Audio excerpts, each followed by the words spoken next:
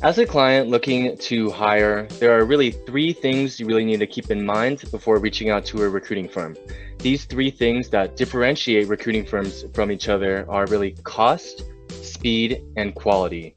One recruiting firm really can't have all three of these things, so you really need to understand which is most important to you all of these have their own merits and there are many different situations where all where one of the three would be more valued than the other. So you really just need to understand really have that alignment with the recruiting firm on which is important and they can definitely help you create that good hire that you want.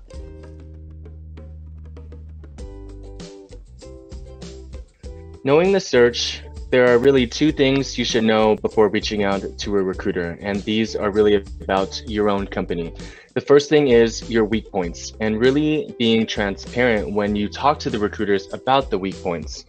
These weak points, whether it be bad reviews, whether it be a bad reputation in the industry, will come up throughout the interview process as candidates conduct their own research, talk to people in the industry, and having the ability as a recruiter to counter it or show that you're having that level of transparency with the willingness to improve will really always help the recruiter bring that talent and really address those weak points right up front um, and help you create that good hire. Now, the second point is your strengths. Now, a good recruiting firm will take candidates away from their current companies, not just find the ones that are unemployed. Not to say that there isn't good talent who are currently unemployed. We call this strong points the sizzle, and is incredibly helpful to attract the best candidates in general, not just the ones who are available.